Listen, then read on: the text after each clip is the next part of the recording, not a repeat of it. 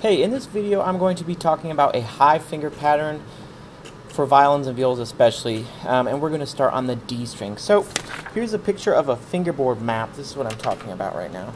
Um, if we put our fingers down, one is going to be E, two F sharp, three for a G sharp, four for an A natural. Okay, so on here the half step is marked in blue. So here's the fingerboard map. Now let's get that finger pattern over to our instrument.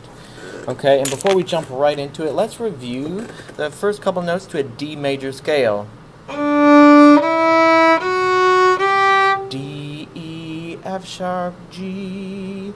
Um, some of your teachers might have taught you, I'm a little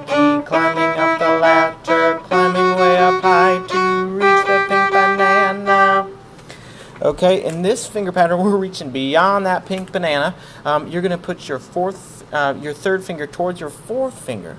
Okay, you're moving your third finger towards your nose.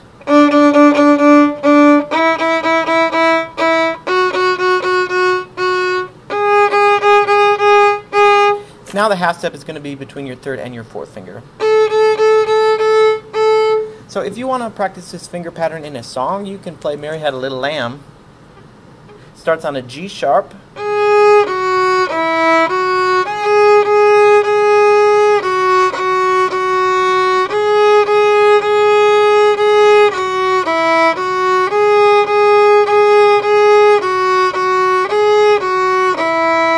Okay, and that only involves three notes G sharp, F sharp, E, F sharp, G sharp, G sharp, G sharp.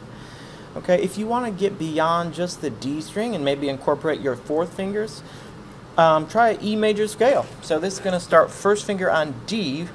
It's an E natural.